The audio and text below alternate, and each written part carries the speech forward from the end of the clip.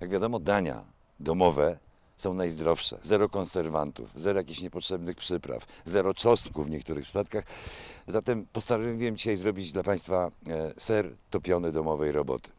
Do tego potrzebny jest ser, najlepiej gołda, dojrzała gołda, z dziurami.